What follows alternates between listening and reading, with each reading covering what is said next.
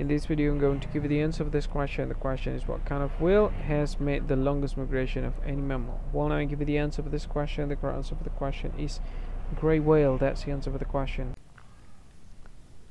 Hi, thank you so much for watching this video. If you find this video is very useful, you can help this channel to grow by subscribing this channel. Please this subscribe button and don't forget to like this video.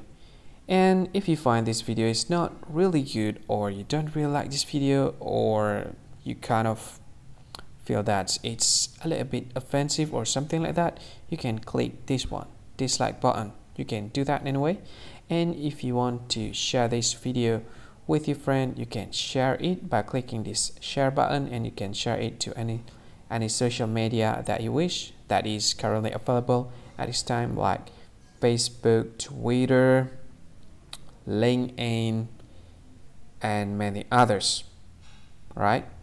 And if you want to add this video to your playlist you can click this one. You can watch this video later and you can find more options by clicking these three dots.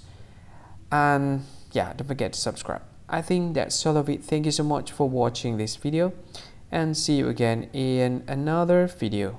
Bye bye see you again